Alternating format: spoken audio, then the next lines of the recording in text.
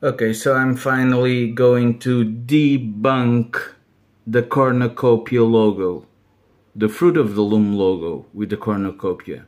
You know how I know there was a cornucopia?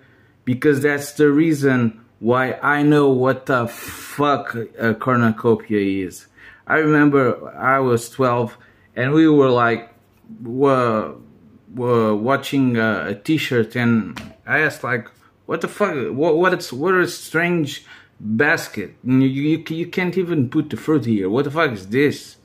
And um, his mom, which is a a, a Bible uh, professor, uh, she taught us what a cornucopia is, and we never had use for that word. So there you go.